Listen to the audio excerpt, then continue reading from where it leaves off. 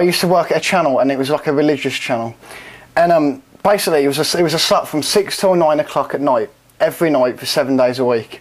And I would have to direct it, which involved me kind of liaising, liaisoning, you know, with the camera operators and how, how I want it to be done.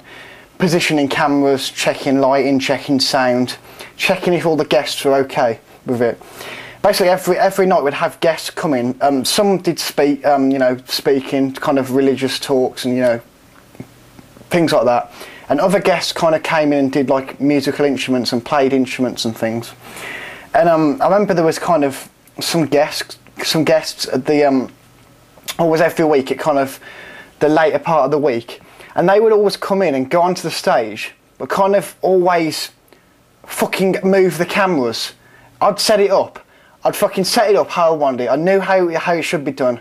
You know, I was the one who was trained to do it.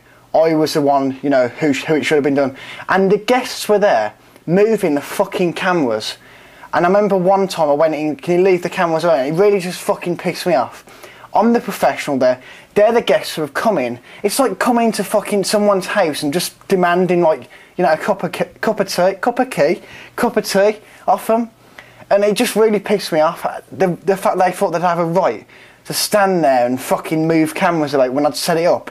I knew how it should have been done myself. And it just really pissed me off. I was the one who was there.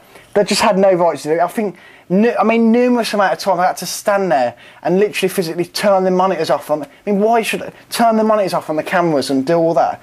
It's just ridiculous. I mean, I shouldn't need to do that. I, You know, I was there doing a job and I shouldn't have to do that. But, you know, shit happens, I suppose.